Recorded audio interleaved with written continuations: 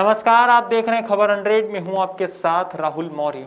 आइए रुख करते हैं इस वक्त की बड़ी खबरों पर, लेकिन उससे पहले एक नज़र हेडलाइंस की ओर। इंदौर में रहवासी कचरे में बैठ कर देंगे धरना। कचरे और गंदगी से परेशान लोग प्रशासन से लगा रहे गुहार। सफ़ाई की कर रहे मांग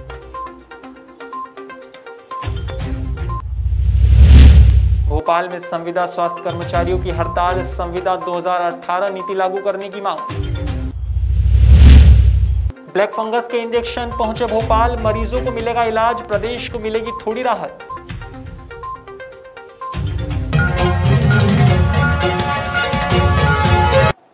इंदौर की बाग पंचायत और नगर निगम ने कचरा उठाने और सफ़ाई करने से पल्ला झाड़ लिया है।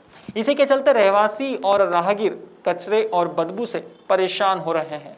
अब प्रशासन के लिए चुनौती है कि आखिर कौन सफ़ाई कराएगा। इंदौर जिला कांग्रेस कमेटी और बाग पंचायत रहवासी जाकिर खान ने बताया कि सिरपुर धार रोड नूरानी नगर चौराहे के पास मेन रोड पर कई दिनों से भयंकर कचरा पड़ा हुआ है, जिसके कारण गंदगी और बदबू फैल रही है। गंदगी के कारण चारों ओर बीमारियों के संक्रमण फैलने का डर बना हुआ है। उन्होंने बताया कि जहाँ कचरा पड़ा है, उसके सामने मस्जिद और पीछे मुक्ति धाम है और पास ही हॉस्पिटल और दरगाह भी बनी हुई है। यह राष्ट्रीय राजमार्ग इंदौर अहमदाबाद है। जब पंचायत के अधिकारियों से कचरा उठाने के लिए बात की तो अधिकारियों ने साफ़ मना कर दिया। उनका कहना है कि यह पंचायत की सीमा में नहीं है। निगम के अधिकारियों से कचरा उठाने की बात की गई तो निगम के अधिकारियों ने भी अपनी ज़िम्मेदारी से पल्ला झाड़ लिया। निगम और पंचायत के आपसी झगड़े के कारण रहवासियों को गंदगी और बदबू का सामना करना पड़ रहा है। इससे परेशान होकर रहवासी धरना देने की चेतावनी दे चुके हैं। में आती है और कोई कह रहा है कि बाग पंचायत में आती है और कचरा उठ नहीं पा रहा गंदगी के कारण क्या है पूरा मामला? देखिए ये जहाँ अपन खड़े हुए हैं इसके जहाँ तक आपकी नज़र जाएगी इसमें चारों तरफ़ गंदगी फैली हुई है। और कचरे के कारण इसमें बदबू भी आ रही है और यहाँ से गुजरने वाले सभी राहगीर और हमारे क्षेत्रवासियों को इस समस्या से काफ़ी परेशानी आ रही है। जब हमने ये मुद्दा इलेक्ट्रॉनिक मीडियम के माध्यम से उठाया और इसको कचरा उठाने और सफ़ाई व्यवस्था को दुरुस्त करने के लिए, सफ़ाई सफ़ाई करने के लिए जब हम लोगों ने ग्राम पंचायत वार्ड के आला अधिकारियों और सरपंच से बात की गई तो सरपंच का स्पष्ट कहना है कि ये जो सीमा है, ये ग्राम पंचायत बात के अंतर्गत नहीं आती। इसके बाद जब हम लोगों ने नगर निगम के आला अधिकारियों से बात की तो नगर निगम के आला अधिकारियों ने कचरा उठाने से मना करा है और उनका ये कहना है कि ये ग्राम पंचायत बात की सीमा के अंतर्गत अब मामला ग्राम पंचायत बाग और नगर निगम के आपसी झगड़े में ये सफ़ाई जो होना चाहिए, वो खुलझी हुई। है बदनावर में चौपाटी पर भारतीय थल सेना के सैनिक कन्हैया लाल जाट के पार्थिव शरीर पर फूलों से श्रद्धा सुमन अर्पित किए गए। उन्हें भावभीनी श्रद्धांजलि दी गई। रतलाम ज़िले के गुणावत के कन्हैयालाल जाट, जो कि थल सेना में पदस्थ थे, बीते दिनों सिक्किम में शहीद हो गए, जिनके पार्थिव शरीर को उनके गृह गाँव गुंडवाद ले जाते समय बदनावर चौपाटी पर देशभक्तों ने फूलों से श्रद्धा सुमन अर्पित कर उन्हें श्रद्धांजलि दी। कल सैन्य सम्मान के साथ उनका अंतिम संस्कार किया जाएगा। इस मौके पर शिवराम सिंह रघुवंशी, अनिल जाट, सुंदरलाल जाट, विनोद जाट सहित अन्य लोग मौजूद थे।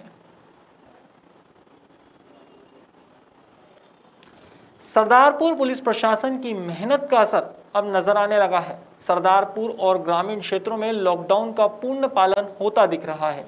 धार ज़िले में लॉकडाउन 31 मई तक बढ़ा दिया गया है। इसके साथ ही सरदारपुर पुलिस प्रशासन ने पूरे लॉकडाउन में कड़ी मेहनत और लगन से कार्य किया है और अभी वर्तमान में भी और शक्ति दिखाना शुरू कर दिया है। सरदारपुर थाना पुलिस प्रशासन सुबह से तो रात तक संपूर्ण सरदारपुर नगर में सक्रिय रहती है। बेवजह घूमने वाले लोगों को समझाइश देती है और ज़रूरत पड़ने पर चालानी कार्यवाही भी करती है। पुलिस ने 33 लोगों पर धारा 188 कार्रवाई की और 1200 लोगों के चालान काटे गए। साथ ही लगभग 1000 लोगों को अस्थायी जेल में भेजा गया, जो कि सरदारपुर एसडीएम बीएस कलेश और सरदारपुर एसडीओपी राम सिंह मेड़ा के नेतृत्व में थाना प्रभारी अभिनव शुक्ला द्वारा काफ़ी मेहनत कर रहे हैं और नए नए तरीके से लोगों और व्यापारियों को समझाइश दे रहे हैं थाना क्षेत्र में कोरोना महामारी एकदम से कंट्रोल कर दी गई है तो आपके द्वारा भी सख्त कार्रवाई कर और लोगों को समझाई है तो आपके द्वारा क्या क्या कार्रवाई की गई? इसमें वरिष्ठ अधिकारियों के मार्गदर्शन पे कोरोना महामारी में कोरोना कर्फ्यू लागू हुआ है। तब से हमारे द्वारा थाना सरदारपुर पे 33 व्यक्तियों के खिलाफ धारा एक सौ अठासी आईपीसी के प्रकरण बनाए गए। हाल ही में लसूड़िया थाना प्रभारी की बाइट लेने पहुँचे मीडियाकर्मी पुलकित अग्रवाल की गेट पर गाड़ी खड़ी थी। इसी दौरान एक सब इंस्पेक्टर ने वहाँ टक्कर मार दी। सब इंस्पेक्टर नशे की हालत में धूत थे और नाइट ड्यूटी पर थे। इसके बाद भी मीडिया कर्मियों के साथ बदतमीजी की गई। नशे में धूत हो विवाद करने सब इंस्पेक्टर का नाम धर्मेंद्र है।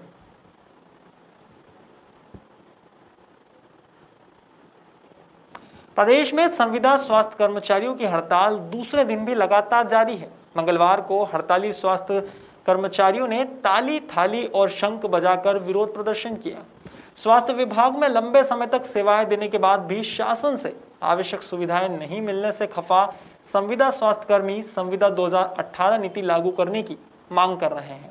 मध्य प्रदेश संविदा स्वास्थ्य कर्मचारी संघ के तहत हड़ताल जारी है। वहीं दूसरी ओर कर्मचारियों के नहीं रहने पर सभी सरकारी अस्पतालों में आपातकालीन सेवाएँ प्रभावित हो रही है। मध्य प्रदेश संविदा कर्मचारियों का कहना है कि कर्मचारियों के नियमितीकरण और वेतन वृद्धि की मांग को लेकर हड़ताल की जा रही है।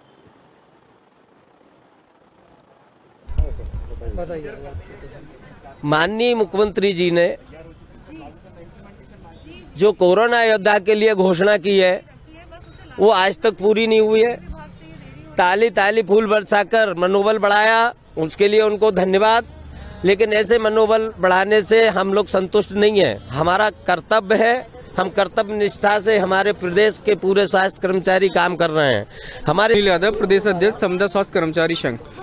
आज जो माननीय प्रधानमंत्री महोदय ने ताली थाली बजाकर कोरोना योद्धाओं का सम्मान किया था और कोरोना को भगाने का प्रयास किया था तो आज हमने भी ताली थाली बजाकर जो हमारे शासन प्रशासन में जो अधिकारी बैठे हैं, उनकी कुबुद्धि भगाने का प्रयास किया है। भोपाल में रेमडेसिविर इंजेक्शन की कालाबाजारी मामले में फरार आरोपी आके आकाश दुबे ने सरेंडर कर दिया है। आरोपी पिछले कई दिनों से फरार था। पुलिस ने तीन लोगों को कोलार में रेमडेसिविर इंजेक्शन के साथ गिरफ़्तार किया था। गौरतलब है कि आकाश दुबे, जेके अस्पताल में आईटी विभाग का मैनेजर है। पुलिस की पूछताछ में हो सकते हैं अब कई खुलासे। आकाश दुबे पर सात हज़ार पाँच सौ रुपए का इनाम भी था। लेकिन आरोपी खुद ऑटो से जा पहुँचा थाने और ड्यूटी अधिकारी से कहा कि मैं आकाश दुबे हूँ। आकाश से इंजेक्शन खरीदने वाले इंदौर सीट कवर के मालिक समेत तीन लोगों को भी पकड़ने के बाद पुलिस उसकी तलाश कर रही थी।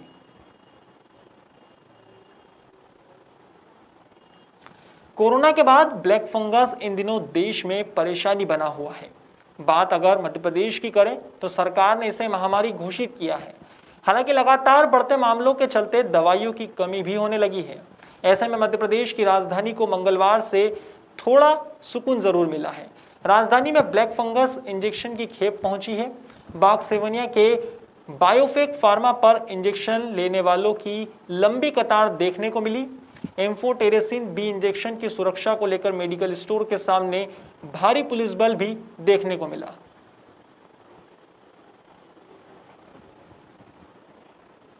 फ़िलहाल खबरों में इतना ही। देश और दुनिया की तमाम खबरों के लिए देखते रहिए खबर हंड्रेड, जनता की बुलंद आवाज़।